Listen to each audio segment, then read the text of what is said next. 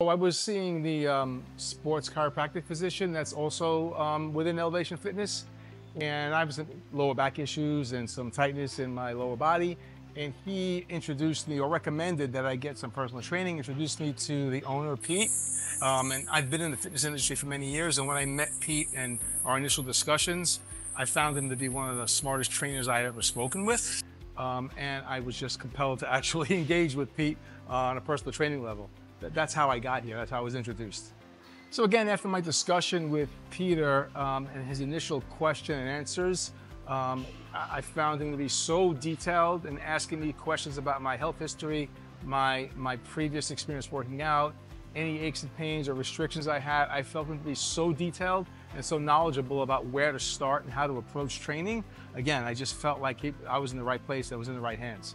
Yeah, so the experience, once, um, once I made that decision to move forward, I started to see results relatively quickly as far as um, improving my range of motion and, and, offsetting some of the pains and the aches that I've had on a, on a daily basis.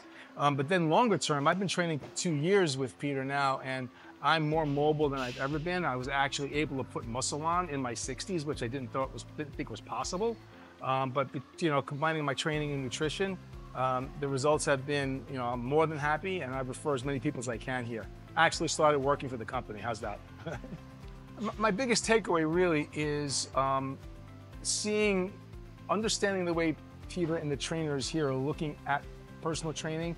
It's not just about what your goals are. It starts with what your goals are, but then really it's, it's about dialing back and peeling back the layers of what's the history of your body and your movement and your health patterns and really trying to get you to your goals, but by creating a solid foundation to get you there so it's, it's longer lasting and the, the results are, are um, many layers deeper than just your basic goals. I've had lower back issues and mobility issues over the years, hips and knees. I'm more mobile and more flexible than I've ever been.